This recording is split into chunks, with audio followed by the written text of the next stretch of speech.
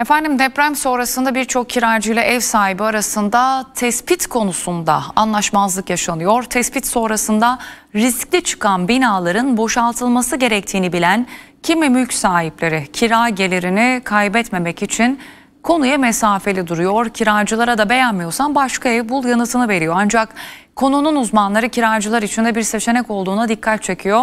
Şimdi konuyu Gayrimenkul Hukuku Derneği Başkanı Avukat Ali Güvenç Kiraz'la konuşacağız. Yayınımıza hoş geldiniz. Hoş bulduk, yayınlar diliyorum. Teşekkürler. Şimdi hem deprem bölgesinde hem de İstanbul gibi risk altında olan illerde hızla pek çok kişi binasını kontrol ettirmeye başladı ya da ettirmek istiyor. Ancak kiracıların anladığımız kadarıyla e, direkt böyle bir hakları yok. Kiracılar ne yapabilir endişeli kiracılar? Evet, e, yasaya göre 6306 sayılı kentsel dönüşüm yasası çok açık bir şekilde mal sahiplerinin kira e, bir riski yapı tespiti yaptırabileceklerini söylüyor. Bu konuda da e, bir kez daha vurgulayalım. Bir malik dahi herhangi bir şekilde diğer maliklerin itirazına vesaire e, ses çıkarmaksızın kendisi doğrudan riski yapı tespiti yaptırabilir. Kiracıların doğrudan kira, e, riski yapı tespiti yaptırma hakları kanunda bulunmuyor. Ancak uygulama yönetmeliğimizde bizim e, idarenin yani Çevre ve Şehircilik Bakanlığı'nın kendilerine şikayet edilen binalarla ilgili de maliklerden e, riskli yapı tespiti yaptırabilme, yaptırma talebinde bulunma hakları bulunduğuna dair bir bölümümüz var. Buna biz 7. maddenin 2. fıkrasına B, B, B fıkrası diyoruz. Yani 7.2B'ye göre kiracı veya hatta e, ben daha önce de birkaç yayında da söylediğim üzere okulundan öğrencisinin yani çocuğunun e, güvenliğinden endişe duyan veliler de yine e, Çevre ve Şehircilik İl Müdürlüğü'ne şikayette bulunabilirler ve karot alınmasını talep edebilirler. Çevre ve Şehircilik İl Müdürlüğü bu kapsamda önce bir inceleme yapacak. Yani binanın yaşına, niteliğine bakacak. Yani 2012 yılında yapılmış ve sonrasında yapılmış bir yapıysa büyük ihtimalle bu e, talebi karşılamayacaklardır. Yani reddedeceklerdir. Ancak 2012 öncesi ve daha da e, e, özelleştirirsek 2007 öncesi yani yapı denetim esaslarının tam olarak belirlendiği yıllardan önce yapılmış yapılarsa bunlar bu durumda e, Çevre ve Şehircilik İl Müdürlüğümüz kendisine kiracı tarafından yapılan şikayet üzerine maliklere bir yazı yazacak ve süre verecek. Diyecek ki lütfen bu yapınızın güvenli olup olmadığı konusunda 30 gün içerisinde bize gerekli incelemeyi yaptırıp bilgi verin diyecek.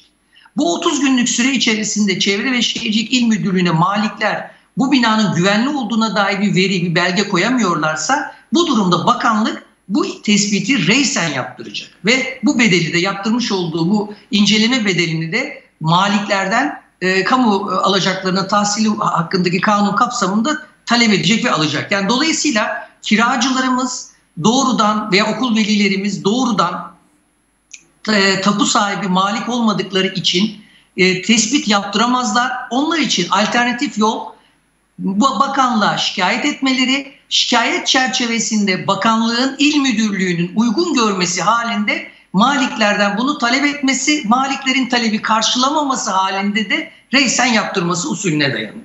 Peki şunu da hemen kısaca sorayım. 2007 ve 2012 yıllarından bahsettiniz. Yani 2007 yılı sonrası yapılan binalarda bu talepler büyük oranda karşılanmayacak mı? Doğru mu anladık?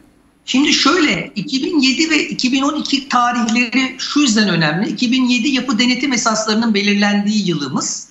2012'de kentsel dönüşüm yasamızın çıktığı yıl. Yani afet dönüşüm yasamızın yayınlandığı tarih. Bu tarihten sonra ruhsat almış yapılar e, genelde özellikle de beton kalitesi açısından belli bir beton kalitesinin altında zaten yapılamıyor.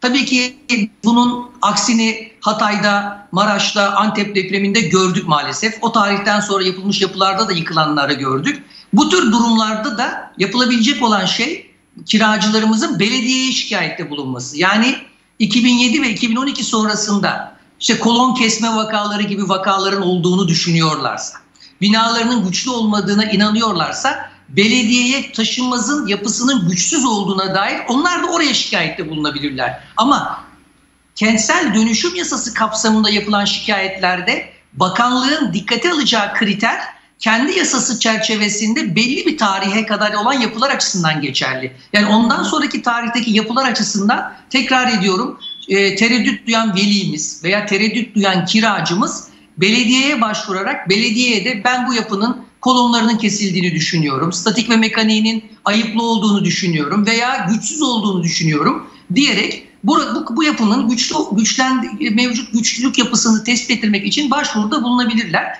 Burada belediye karar verecek e, bu kapsamda. Hani şu anki tabloda e, belediyeler ben bu şikayetlere kayıtsız kalacaklarını çok düşünmüyorum ama hı hı. resmi olarak yapılacak işlemi söylüyorum. Yani karot dediğimiz riskli yapı tespiti açısından kiracılarımızın doğrudan başvurma hakları yok ama dolaylı olarak şikayet yoluyla Çevre ve Şehircilik İl Müdürlüğü'ne giderek özellikle de 2007 öncesi yapıları tespit ettirebilme ve maliklerden bunu talep ettirebilme hakları kanunen mevcut. Ama diğerleri hem idarenin hem de Çevre ve Şehircilik İl Müdürlüklerinin yani 2007 ve 2012 sonrasındaki yapılar için konuşuyorum.